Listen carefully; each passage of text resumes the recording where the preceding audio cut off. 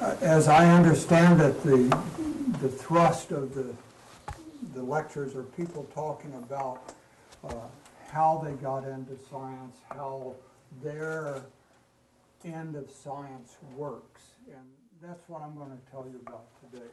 Uh, There will be a heavy emphasis on the Hubble Space Telescope because that's probably the most visible thing that I've uh, done in my life.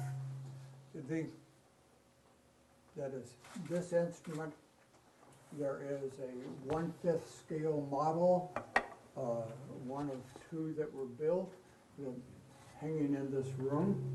And I uh, invite you to uh, examine it afterwards with perhaps a little more insight than when you came through the, the doors this morning. And if we could uh, lower the uh, room lights in the front end of the, the room. Please, Rick, thanks. I will approach the, the subject of my career in science uh, there at the beginning and where I can uh, really uh, is, uh, is here. And, you know, everybody in this room uh, remembers my weekly reader. Uh, And of course, this still exists. It's some 80 years old now. And it's had uh, several forms and um, several names, but also, but the message of it is still the same, providing printed material so much better than television and computers uh, to people from grades one through six. And I was one of those uh, readers of this free uh, newspaper in this period. And this is, I can remember in the sixth grade, uh, at their at Chartrand School, Miss uh, Miss Jerome, we all remember teachers were always called Miss. Uh, that Mrs. Jerome actually gave us all the assignment of writing a one-page article on what we wanted to be doing in 20 years. And I wrote that I wanted to be an astronomer observing with the 200-inch telescope at Palomar. Now, why would a kid from the south edge of East St. Louis, Illinois,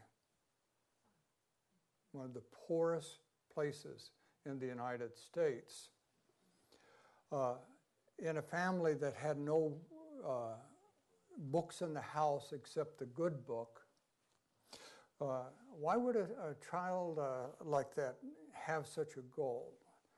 And that's because in the My Weekly Reader, I, would, I had seen from the very, very beginning these pictures of the construction of the 200 inch telescope. This one being a picture of the uh, boxed primary mirror, the 200 inch mirror being hauled up the, uh, the mountain road. And then, ju just about the time that essay was, was written, there was the dedication of the uh, telescope on the occasion of the American Astronomical Society meeting in Pasadena, and they all came up there uh, to the mountain for, for the, uh, the dedication program. And I can remember this picture quite well. And boy, this looked really like fun. Well, it didn't take me 20 years to achieve uh, that goal. The of course, what we'll see, and you may have seen this in, in other speakers too, that it's both the individuals, but it's also people. And you're going to see a lot of, of pictures of people in this because it is the connectiveness uh, of society that um, guides people's lives. You don't do it by yourself. And of course, I did a, a lot of things uh, right, like I selected my parents very uh, well. Uh, here they are in 1930 with my 10 year uh, older sister.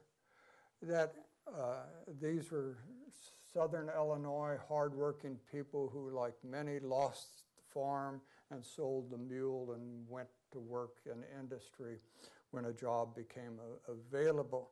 My mother had a grade school education. My father left uh, grade school after five years.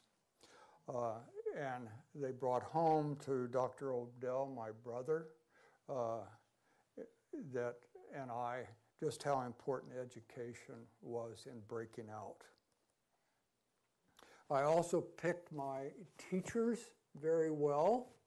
Uh, these are pictures of my high school uh, math and uh, science teachers on the occasion of the uh, launch math and science teachers, on the occasion of the launch of the Hubble Space Telescope some uh, 35 years after I had been their student.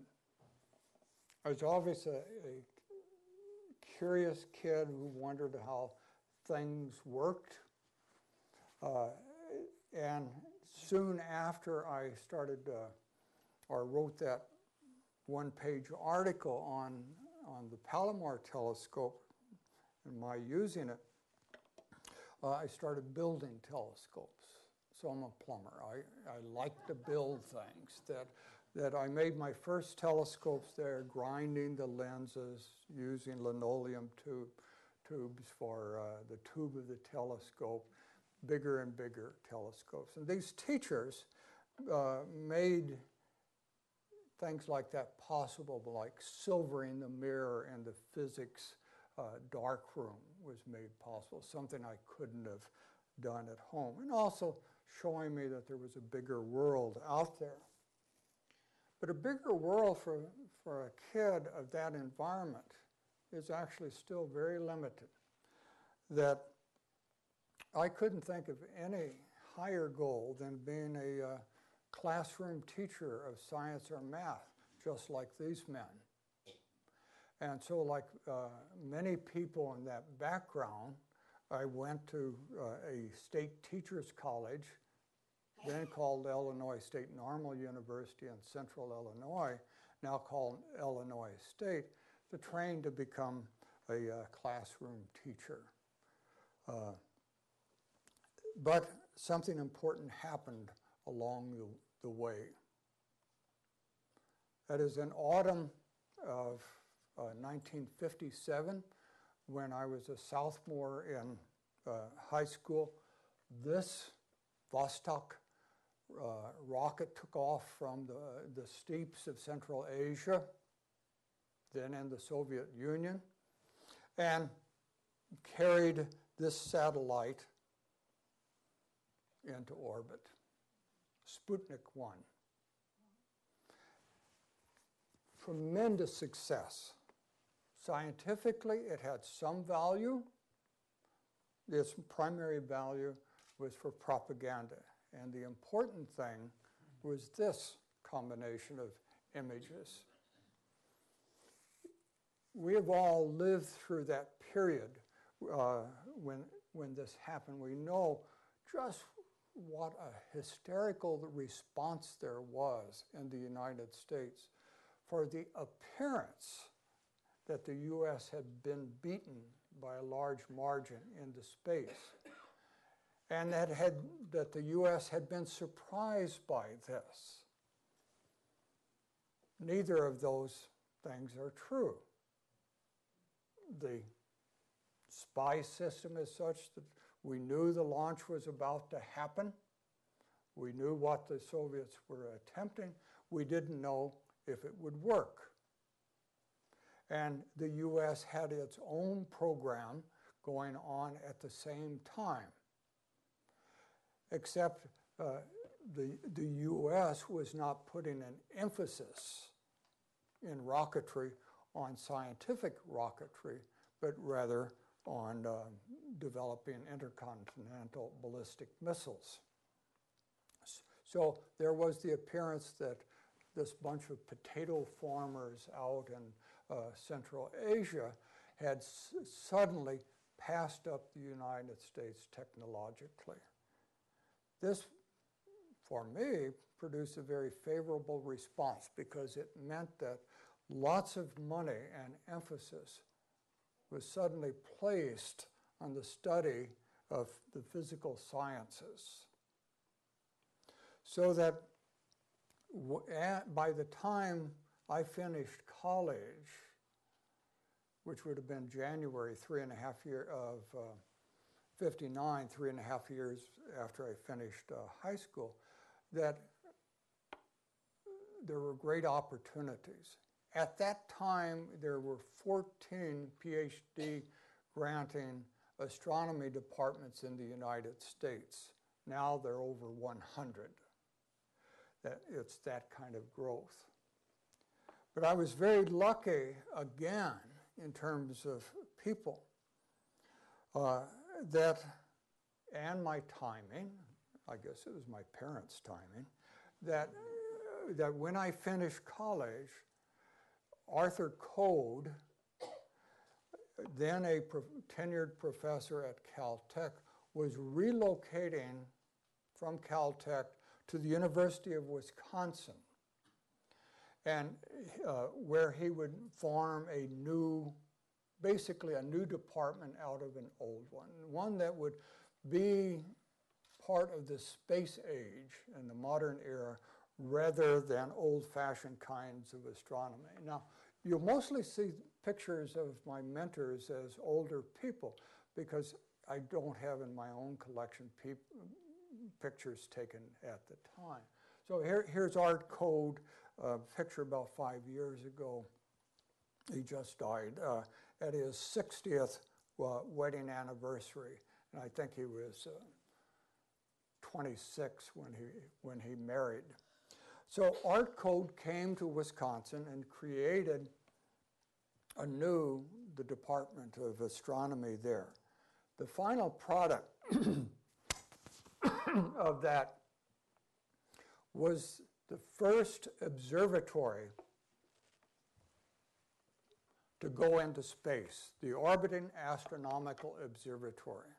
One cannot underemphasize how important it was the step in building the, the, this observatory was um, almost as great as the step in technology in building the Hubble. And the price of it was about the same. But in those days, the money was there because we were perceived as a nation to be behind. This was an observatory that would fit into the stage area quite well. It was really uh, very rudimentary, but it was an enormous step at a time. And this gave, gave me an exposure to space science, the potential of it. Now, all this was a new, a new department in a very old observatory, but at a beautiful location over Lake Mendota uh, in Madison, Wisconsin.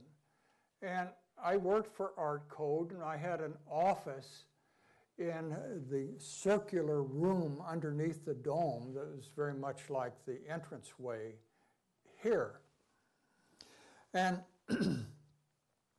in that room, on the wall, was a, a, picture, a drawing that had been made, a historical drawing actually, that had been made at the Harvard Observatory of something called the Orion Nebula. Now, I bet a lot of people in this room are familiar with the constellation Orion. We see it in the winter sky. You can see it in early morning once it starts clearing up again here.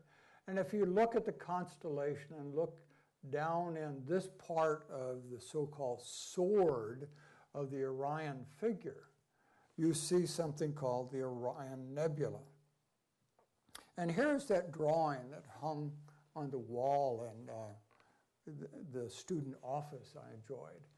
So you see, see this grouping of stars with four in the middle that are uh, rather obscured in, in this drawing because, of course, it didn't have a very large dynamic range. This slide, this reproduction, doesn't really capture the beauty of that drawing, which represented many decades of efforts of people by eye making drawings of the, the nebula. And I thought, boy, that's for me. I want to figure out what things like that are and what makes them work. I was lucky in that the world specialists in atomic processes that are operating in nebulae, like the Orion Nebula, had come from Caltech with Art Code in Donald E. Osterbrock, again pictured here in, uh, I guess he was about 80 when this picture was taken. So he became my mentor, my master, in the uh, Buddhist type sense that uh, he was a taskmaster and expected obedience and expected performance, and all of us uh, tried to do our best to perform. I must have, because he supported me uh, in an application for a postdoctoral fellowship uh, out at Caltech. And at that time, Caltech was in a joint uh, operating arrangement with the Carnegie Institute, operating both the 200 inch telescope and the 100 inch telescope on Mount Wilson overlooking uh, Los Angeles. By then, this was a fairly old telescope, but it was the third largest telescope uh, in the world and you could put very modern equipment on the at where the focal image was was formed. And so the that's one of the nice things about a telescope that you can change the instrumentation on it to bring it up to date and as long as the telescope is still steady and able to point through the sky, it'll live for forever. So it was a great bit of fun to be able to use this telescope. Um, and uh, later, uh, after I'd actually relocated, I came back and used the 200 inch telescope.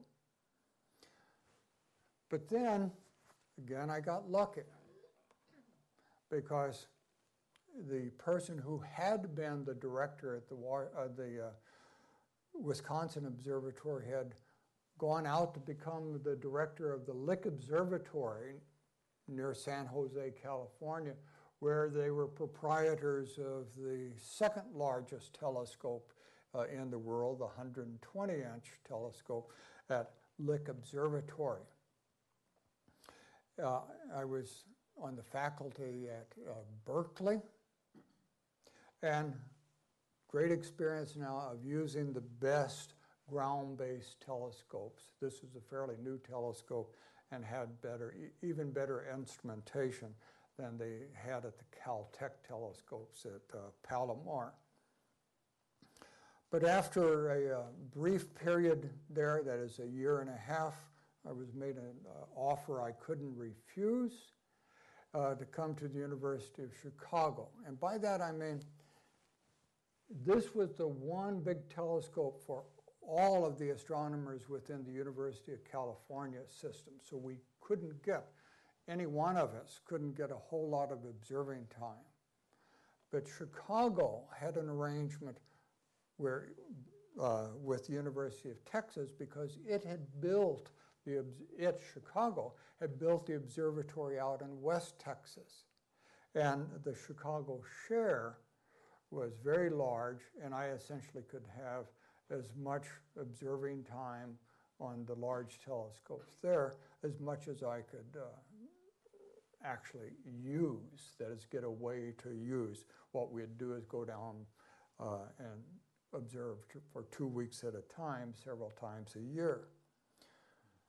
The observatory of the University of Chicago is the Yerkes Observatory, which is located uh, about 80 miles northwest of Chicago in Williams Bay, Wisconsin. When it was built in the early 1890s, it housed the world's largest telescope in the 40 inch refractor that is still operating in that dome there. Again, a classic building, but doing modern uh, astronomy uh, inside of it. Where I personally observed most was down at the McDonald Observatory in the Davis Mountains of uh, West Texas, and about midway between El Paso and uh, Big Bend, if that, that helps. Beautiful country, a lot clearer in spite of the photogenic picture. photographers like clouds in the, uh, their images. Uh, astronomers don't.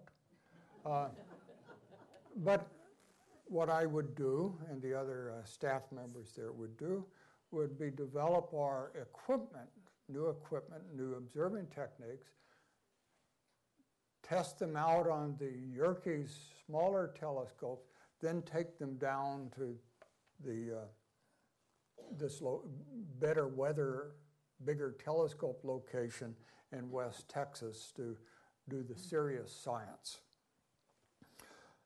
So while I was there, I was coming up through the ranks and getting more visibility uh, within my trade.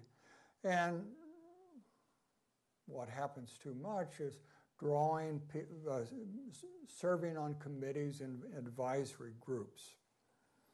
These advisory groups, most interesting ones, were those for NASA. Remember that NASA had been created in 1958 as a civilian space agency. And by the time I was a full professor at Chicago in 68 and starting to be on uh, advisory committees, that NASA was no longer just a manned space flight program or just the OAOs, but looking for bigger astronomy programs uh, for the future. Now, along the way, I was doing other things besides science, uh, which included some uh, mountain climbing expeditions.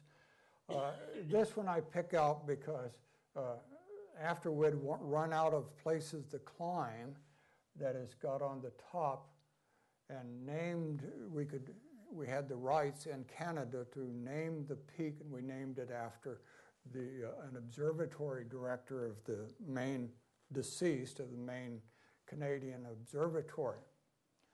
But on this trip, I met and liked, as most people did immediately, this chap, Lyman Spitzer who, this is actually a picture I took on the summit ridge uh, about 30 minutes before uh, the previous one. Lyman at this point was about 55 years old, 1967. But in 1946, he participated in a think tank activity which was charged with defining what the U.S. should be doing with rockets. This was all precipitated by the fact that the Army surplus V 2 rockets that had come from Europe were brought to the U- uh, U.S., and people started to do science and military things, U.S. military things with them. So he was part of a vast study of what you could do in the future with even better rockets. And he identified building an observatory in space and it all the advantages of that. In particular, you could see all colors of light rather than just those that uh, reach through the Earth's atmosphere. And you could get a much better quality image because the atmosphere, even on a clear night, blurs out the appearance of stars. Now, this had actually been written in 1923 in a, a German book by the man by the name of Hermann Oberth, but Spitzer didn't know about this uh, at the time. But it was, was a natural goal. And it's something that NASA identified very early, but of course, NASA was walking before it could run, so you don't build something like this, what Lyman had, uh, was talking about in 1946, right away. So these connections with him, largely made through uh, mountaineering, all, uh, really got me interested again in space astronomy, going back right to that first influence of Art Code at the University of Wisconsin. And I started serving on groups that were identifying the so-called Astronomy Missions Board, identifying the, few, the what should be the next decade's goals within NASA in the area of astronomy. And at one of our astronomy meetings, this chap showed up, the very photogenic Wernher von Braun, who uh, I met him in 68, and he was then the, the uh, leader of the Marshall Space Flight Center. He was famous for developing, in particular, two rockets. One was, uh, in, while he was in Germany, the V-2 rocket, which was highly successful, that, uh, and also the Saturn V rocket which never had a failure that compromised the mission. This particular picture is the launch of, uh, of Apollo 11. That, that was in 69. But in 68, von Braun knew that this was a dead-end product line. That is, their NASA was not going to be able to use these Saturn V rockets for things in the, uh, the future because the payloads weren't being developed. So he wanted to, in the business world, you would say, diversify the product line there at the Marshall Space Flight Center and get into building payloads and not simply rockets. So he had his chief scientist, Ernst Stuhlinger, convene a group of three of us that had, uh, had served on the, this astronomy missions board to come down periodically to Huntsville and give them advice, give him advice about what new products they should be trying to produce. That is, what science projects they should try, try to grab off for the Marshall Center. Is an interesting group of three. One was Herb Friedman, who is a scientist at the Naval Research Lab, who as a young man was given use of several of those Army surplus V-2 rockets in New Mexico, and he made the first observations of the sun and X-rays from above the Earth's atmosphere with the V2 and had stayed in space astronomy.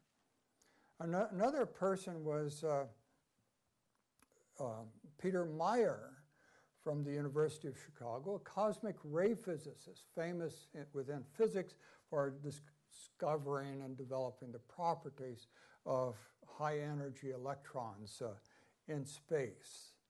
Uh, he was a, the second member of the Council of Three. And I was kind of the, the boy of, of the group.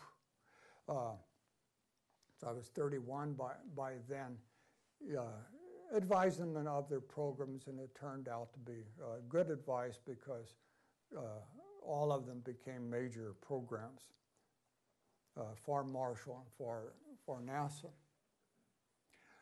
Peter Meyer couldn't say no to being on the advisory group because von Braun's chief scientist, still again this connection of people, uh, had been Ernst Stuhlinger, pictured here when he was only 91, that this man had been Peter Meyer's thesis advisor for his docent or master's degree in Berlin in 1942, just before Ernst was drafted.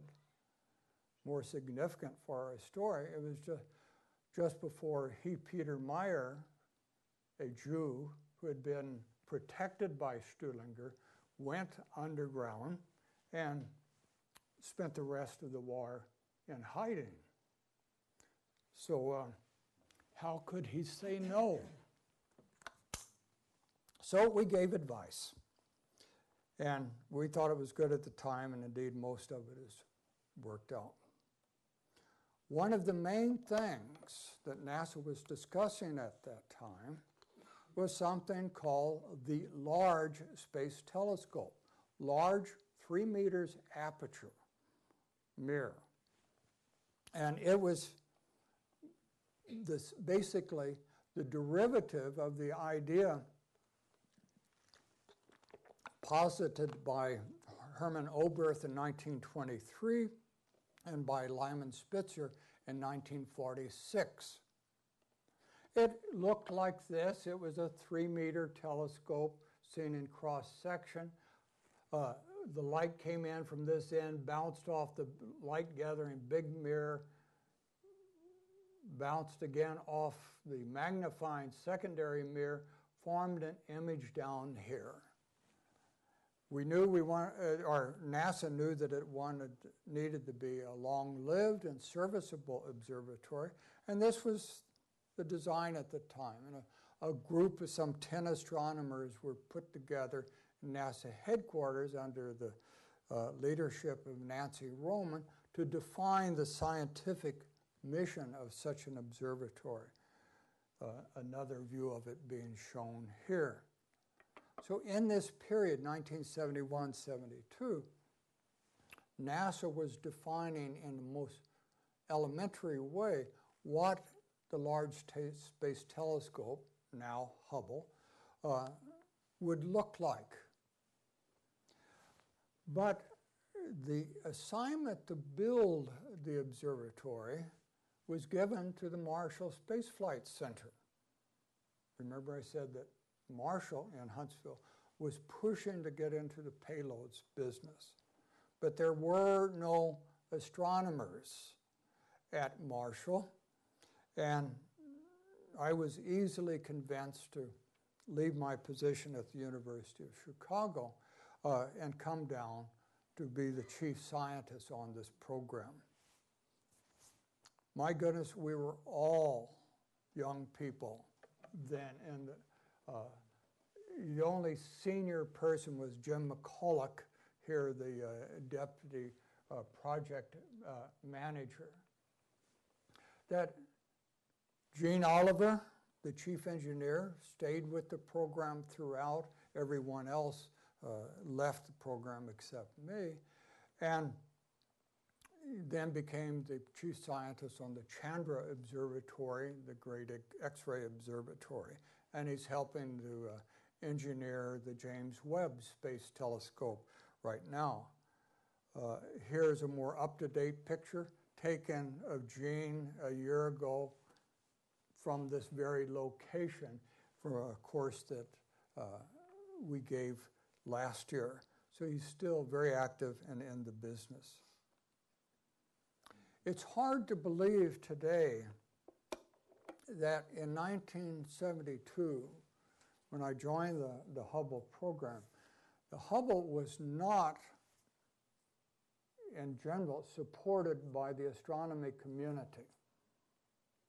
And the argument basically ran give, if there's $300 million available in those year dollars, it would be better to build 20 duplicates of the 200 inch telescope and allow so much more observations, many more observations to be made than we're doing now with just this one unique instrument.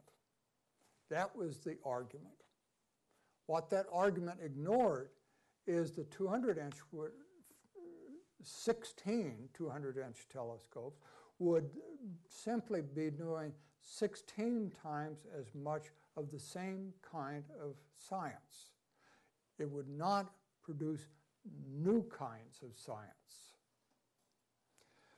So others of us believe it was better to spend the money uh, on building a much more powerful single observatory in space, now called the Hubble.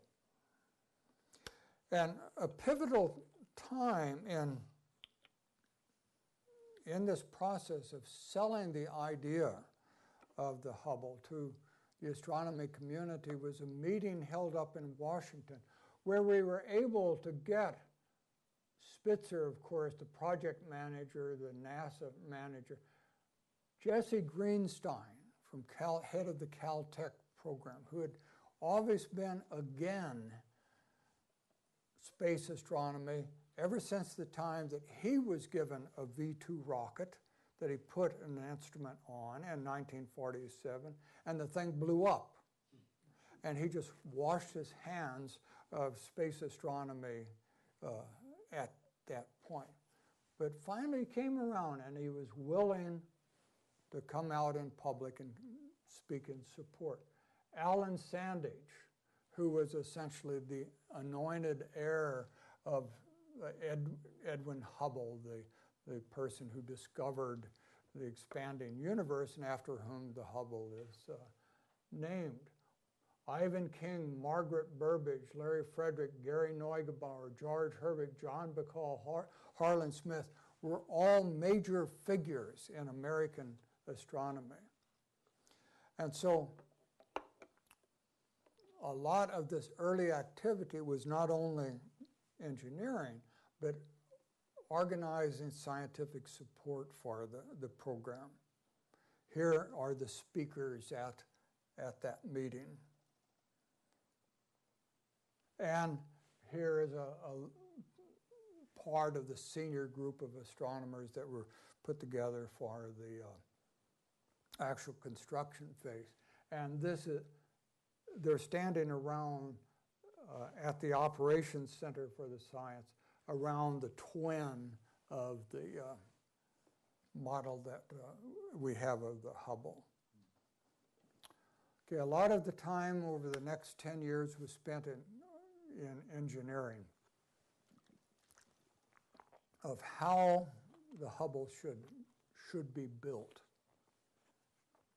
And eventually we ended up with something that was really quite different from the earlier design, lower cost, which was still horribly expensive, and the largest possible telescope of a reasonable cost that could be packaged into the space shuttle. And this meant reducing its aperture from the original goal of 3 meters to 2.4 meters. Now, one of the things that was unusual about the, the Hubble was the fact that it would be serviceable.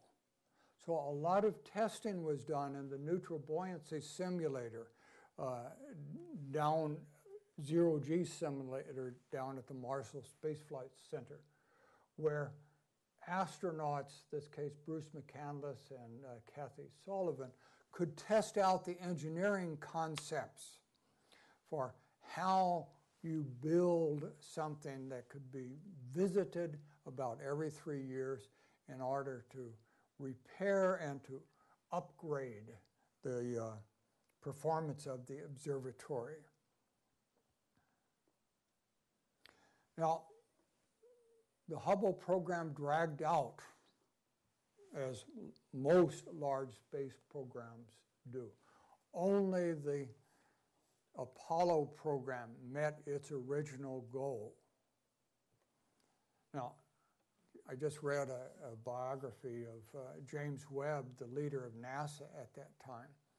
When he went to Congress to uh, sell the Apollo program, which would have been in 1962, he had been told it was going it would cost 20 billion dollars.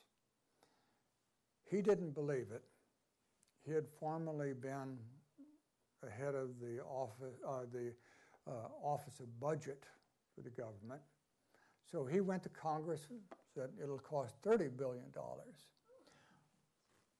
Factor of six inflation. So it, it was a $180 billion program. In those days, you could do it. They stuck to their schedule because money helps in engineering. Now, in this case, this rather complex looking chart shows the amount of time and months until the launch as a function of year. So when we started the hardware phase of Hubble, it was expected that the launch would be in uh, late 1983. There were problems adhering to the schedule and budget, which produced at this point a new negotiated budget,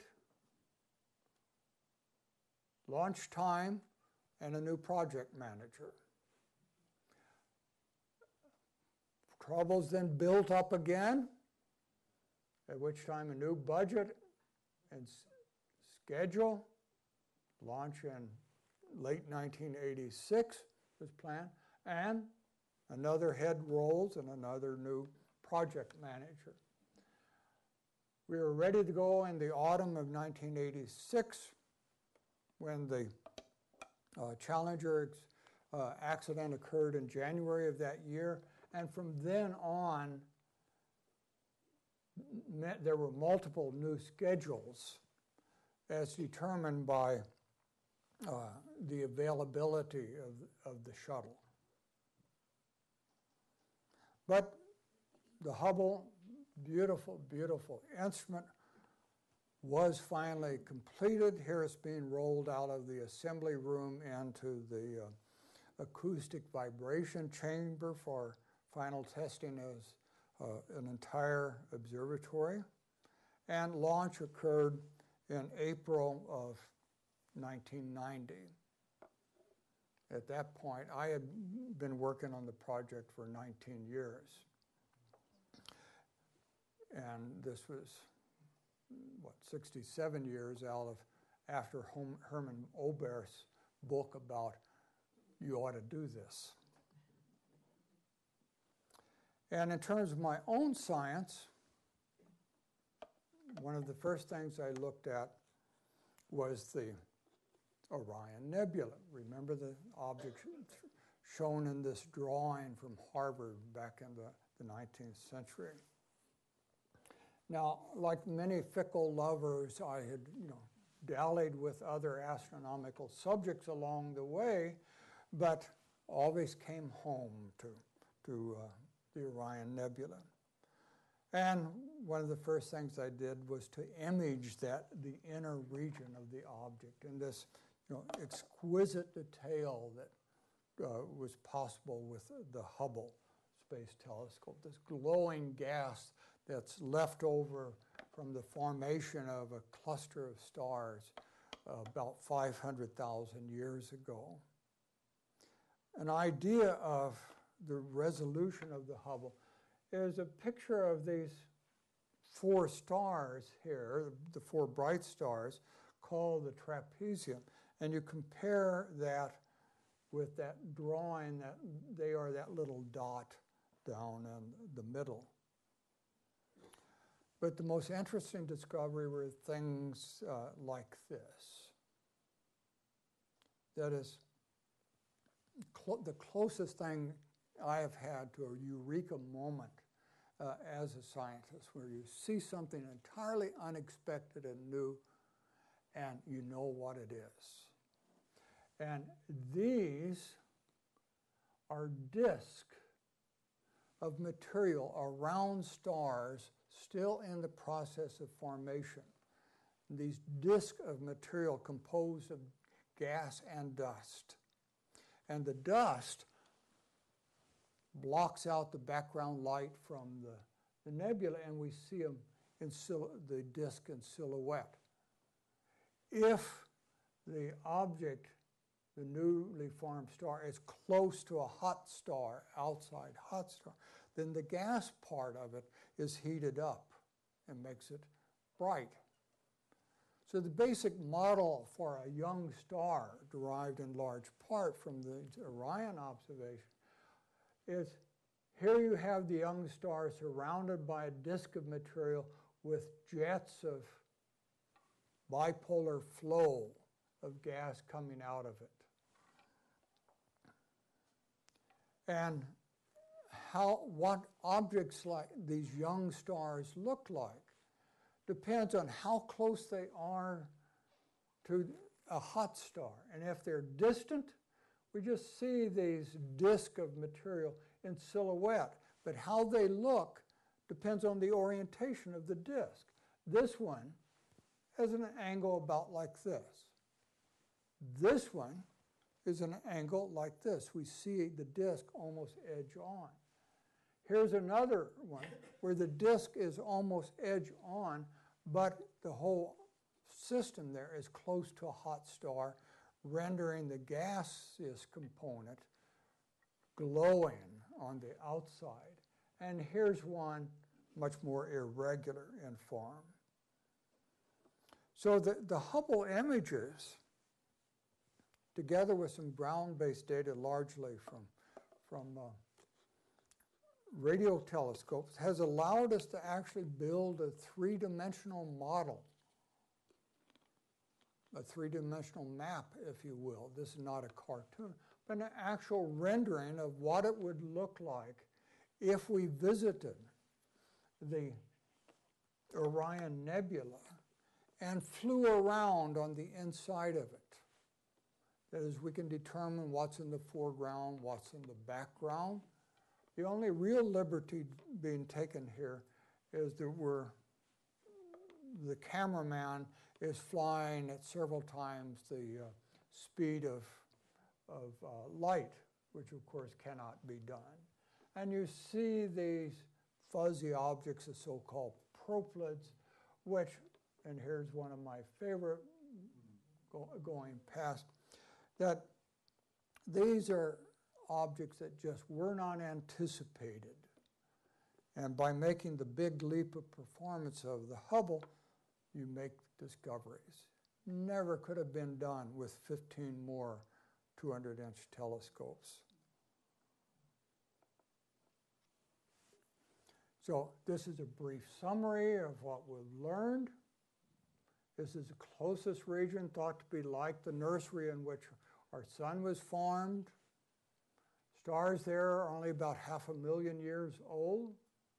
We see the protoplanetary disks, which are a natural part of the formation of stars. And if there's a hot star nearby, it can affect how it looks. Now we know in the case of the sun that it must these stars must look like our solar system did at only one half million years old rather than 4.3 billion years old. Because you look out in the night sky and you see the planets along a line across the sky, the so-called zodiac. They, those planets formed in this disk that we're seeing in Orion.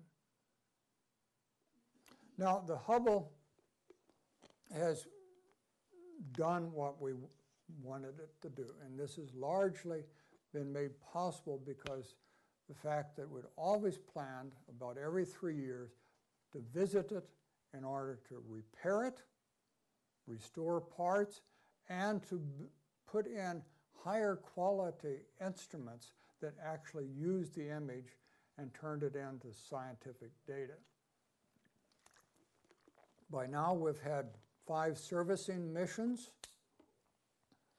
and on each one, there were a variety of tasks. And let me just cut to the bottom line. The last of the servicing missions uh, occurred in May of this year. The, on that servicing mission, two new scientific instruments, a new camera, a new spectrograph were installed. Two of the instruments were repaired. Repairs were made on that exceeded even what we eh, what we anticipated. And these were possible because the system design was very robust. So that in the case of this spectrograph, the and this camera, the astronauts actually opened up the outside of the, the box containing, containing the instrument and replaced electronic uh, circuit boards. And at the beginning, I didn't think it could be done, but it was. And those instruments were brought back online. They had essentially been dead because of these electronic uh, uh, failures. New batteries were installed. The batteries in the Hubble had uh, been operating for 19 years. They had been built some five years before that. Were our only, don't we wish our cars' uh, batteries would last uh, so long? But of course, they cost more. New gyroscopes, which are used for orienting and pointing the telescope, were installed. New data controllers, uh, a thing that takes the, uh, a necessary component that takes the information from scientific instruments and sends it down to packages and sends it down to the ground. Earlier flights, new solar arrays, those things out on those paddles uh, out on the side that convert sunlight into electrical uh, energy. Uh, new computers.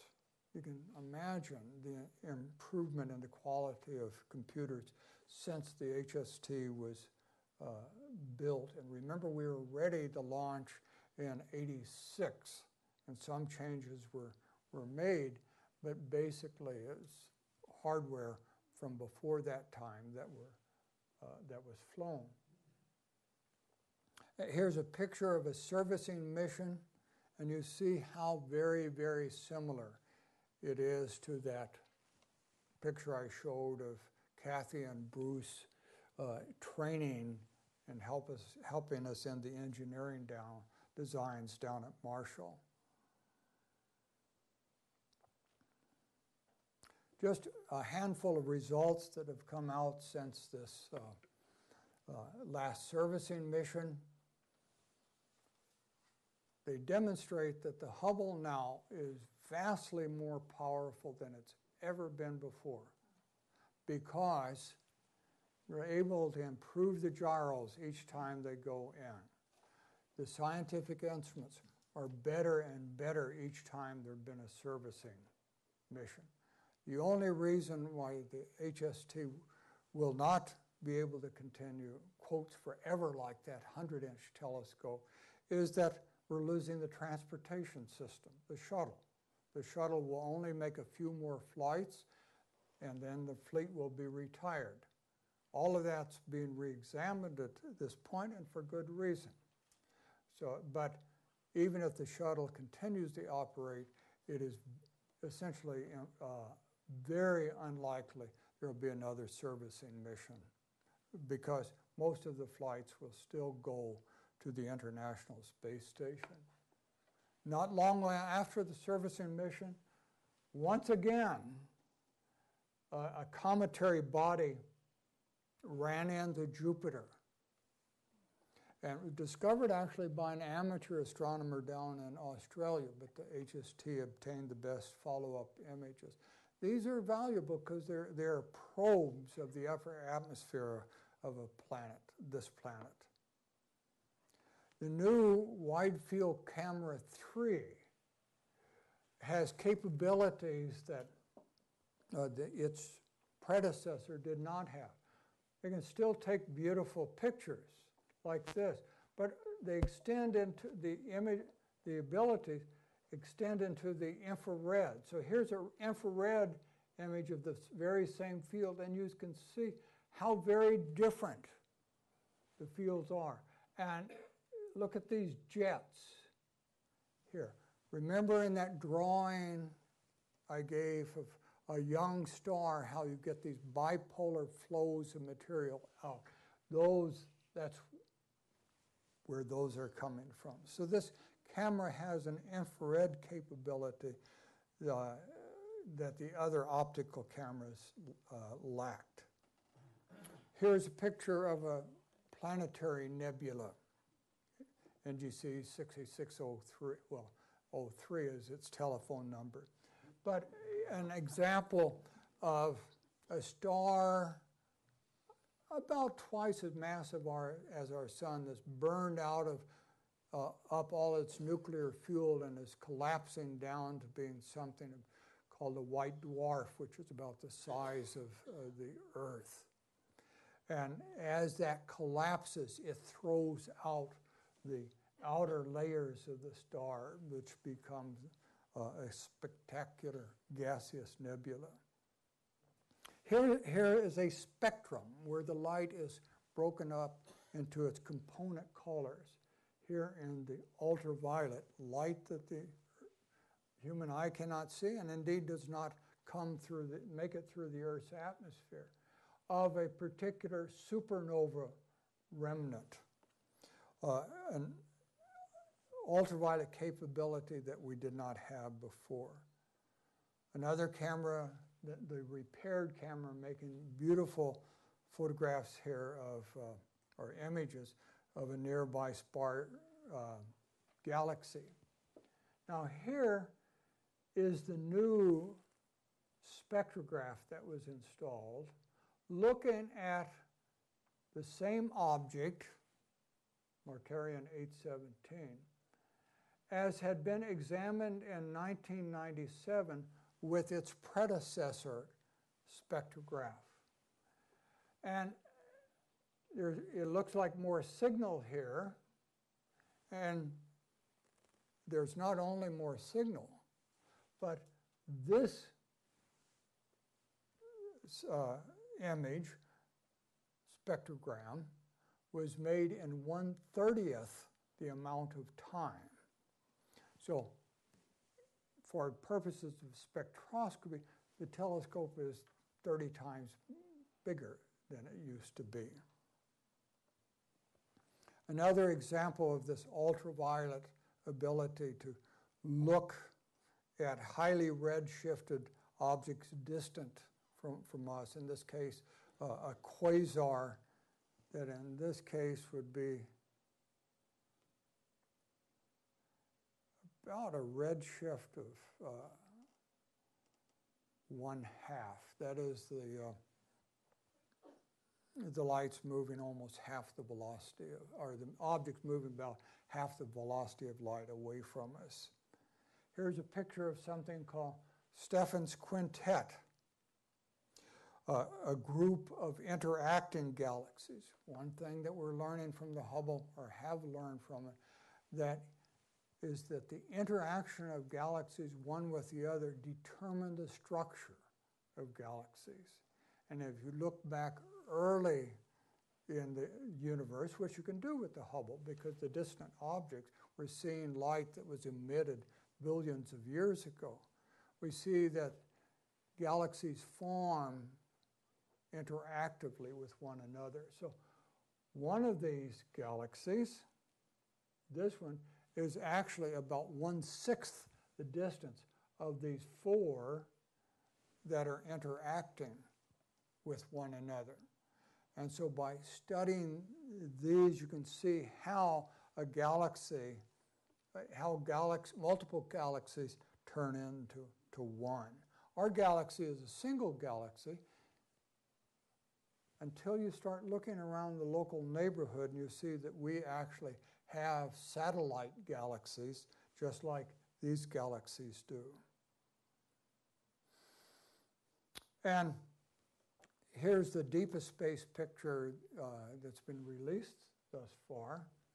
It's looking out at a cluster of galaxies, a rich cluster of galaxies, which has a dominant galaxy here in the middle that is grown by coagulation from other galaxies. But you see out on the edge these streaks of light, all having a certain symmetry around the middle here. These are actually galaxies at about a distance of 10 billion light years that are exactly lined up behind, almost exactly lined up behind this massive galaxy. And the gravitational field of that galaxy warps their light, basically magnifies the more distant object and makes it brighter. And we were able to observe it uh, easily in this case with a distorted image. And so basically, this is how I would score uh, this last servicing mission clearly a 10. Now, if you want more reading material about the Hubble Space Telescope, I list these uh, object, uh, these uh, books here. Uh, a rather scholarly book by uh, Robert Smith, a book projecting its science. It was published before the launch. And then I wrote a book on the Orion Nebula, in which I gave one uh, chapter over to my version of the history of the Hubble. Uh, makes a swell Christmas gift. so the Hubble's been, been the most rewarding, in the end, the most rewarding part of my career as a uh, scientist. And I showed pictures of people in here because it's not just science, but people watching out for one another, working with one another. Now, a project like the Hubble is led by individuals, but still it's thousands of people working on it, almost all of whom started out with as kids, wondering how things worked. Thank you.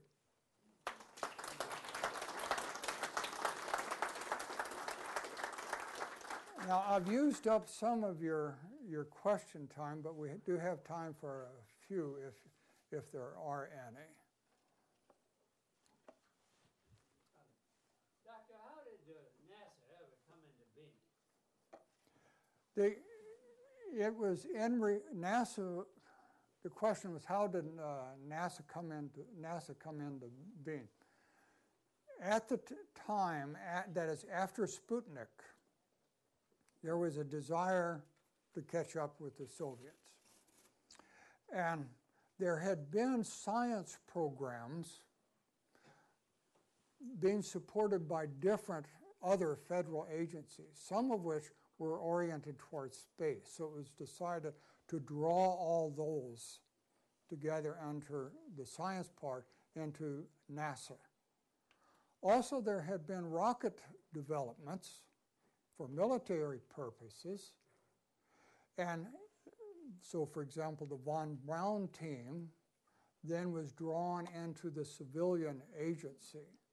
So this gave the structure after its creation in, in uh, 58 to carry out a civilian space program. Uh, another space program of which we cannot speak, but we pay for, was also created at that, that time, whose budget is larger than NASA's. That is, there's a military space program are the uh, scientific instruments protected from uh, vibration from uh, rocket launch? Uh, good, good question. They, they were over. Uh, how, how were the scientific instruments uh, protected against the vibration environment uh, during launch? Good question because the shuttle is a very hostile launch environment because of vibration, not the g forces, but the vibration. So basically, things were overbuilt they, engineering wise, in terms of structural strength, they were built to satisfy the G loading induced by shaking during launch. If it had not been for that, they could have been built much more cheaply. So it was a, just a question of designing for that worst case and then testing it on the ground to simulate that environment that it does work. Yes? How do you define science to include the interactive processes you've mentioned? How do I define science? Uh, it's just the quest for information about the physical world. I, f- I consider myself a scholar primarily. My specialty is the physical world. And within that, my subspecialty is astronomy and astrophysics. So that's the way I, I structure it. Have the Russians made any um, comparable progress since, um, since the competition started?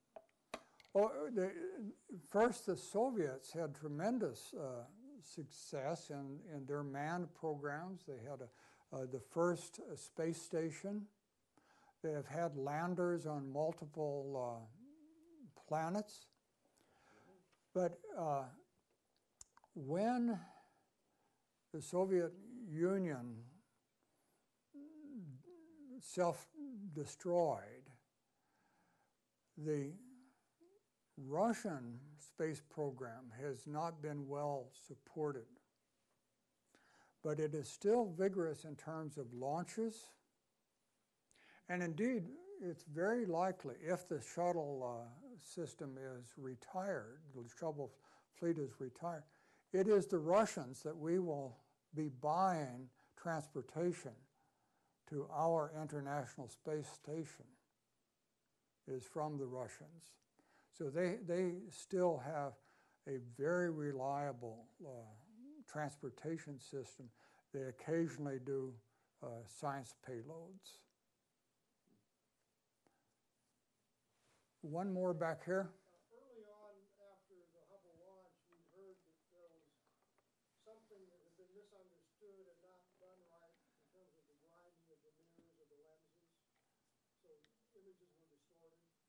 Can you explain that in layman's terms? Okay, uh, uh, the, the question was what went wrong that the images initially were fuzzy? And what happened was that the mirror, the primary mirror which forms the, the image, had been made with great precision to a slightly wrong shape. And that mistake was made because the test device that was used to uh, measure the shape of the mirror was assembled incorrectly. Something that was not reported, that is, the, that there were no questions raised about its alignment. It was not reported to the uh, people who were monitoring the program. The information stopped at a very low level that there might be something wrong with that test device.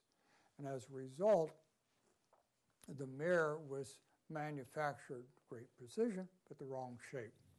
But fortunately, that this meant that you could calculate exactly what the shape of the mirror turned out to be. So that during the first servicing mission, something called COSTAR, a corrective optics device, was put up which corrected the image, essentially putting spectacles right in front of the scientific instruments that corrected the, image to be as good as we ever expected. So that in each new uh, instrument that's put on the Hubble, that correction is put into the, the scientific instrument. And, but it's important to understand that we were doing science even at the beginning. The core of the image was as sharp as we ever expected it to be.